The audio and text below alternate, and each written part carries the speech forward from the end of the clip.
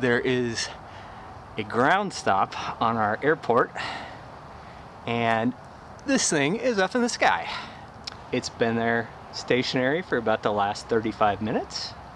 For those of you who might think this thing is the moon, there's the thing. And whoa, there's the moon. It's not the moon.